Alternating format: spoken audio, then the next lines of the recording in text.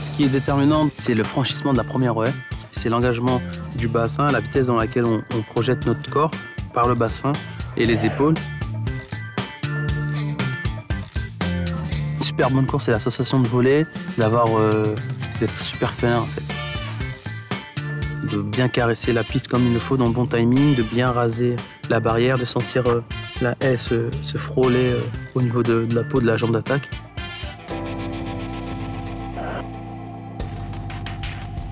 Et de sentir que, voilà quoi, tu, tu joues avec le risque.